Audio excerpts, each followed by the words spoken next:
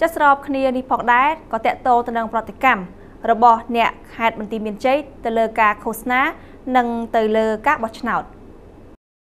ក្រោយការបោះឆ្នោតសកលជ្រើសរើសអ្នកតំណាងរាស្ត្រអាណត្តិទី5កាលពីថ្ងៃទី28កក្កដាឆ្នាំ2013និងប្រកាសលទ្ធផលបណ្ដោះអាសន្នដោយគណៈកម្មាធិការជាតិរៀបចំការបោះឆ្នោតថាគណៈបកប្រជាជនកម្ពុជាឈ្នះ68អាសនៈគណៈបកប្រឆាំងគណៈបកសង្គ្រោះជាតិឈ្នះ55អាសនៈតែគណៈបកប្រឆាំងបដិសេធលទ្ធផលនោះនៅបន្ទាយមានជ័យមន្ត្រីនិងពលរដ្ឋមានប្រតិកម្មមួយចំនួន។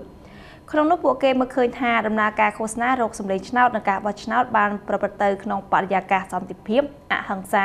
សេរីភាពនិងអាចទទួលយកបានខាងក្រោមនេះជាការលើកឡើងរបស់លោកបណ្ឌិតសំងាសាកលវិទ្យាធិការសាកលវិទ្យាល័យមានជ័យខេត្តបន្ទាយមានជ័យបានឲ្យដឹងថា ហើយទីមួយតេតិនជាមួយនឹងការយុទ្ធនាការបោះឆ្នោតក្នុងពេញមួយខែនេះខ្ញុំសង្កេតឃើញជាយុទ្ធនាការដែលល្អ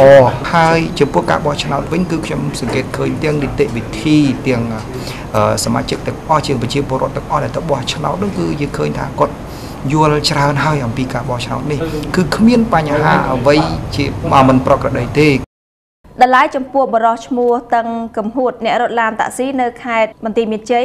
បានអះអាងយ៉ាងដូចនេះថា ការបោះឆ្នោតនៅក្នុងប្រទេសកម្ពុជានេះវា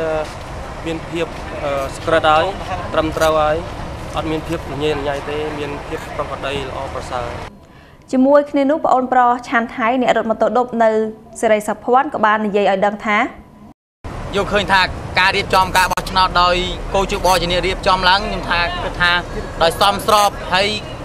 ប្រជាពលរដ្ឋគ្រប់រូបខ្ញុំឃើញទៅដូចជាទៅបោះឆ្នោតគ្រប់គ្រប់គ្នារយបងចាប់ព្រឹត្តិការណ៍ព័ត៌មានប្រចាំថ្ងៃពីបណ្ដាញទូរទស្សន៍បាយ័នព័ត៌មានដែលនាងខ្ញុំបានជម្រាបជូននៅពេលនេះចាប់តែប៉ុណ្ណេះចាសសូមអញ្ជើញបន្តតាមដានទស្សនានៅព័ត៌មានមួយចំនួនទៀតដែលមានជាបន្តបន្ទាប់ពីបណ្ដាញទូរទស្សន៍បាយ័នព័ត៌មាននៅក្នុងពេលបន្តិចទៀតនេះខណៈពេលនេះនាងខ្ញុំរួមនឹងក្រុមការងារសូមអរគុណនិងសូមជម្រាបលា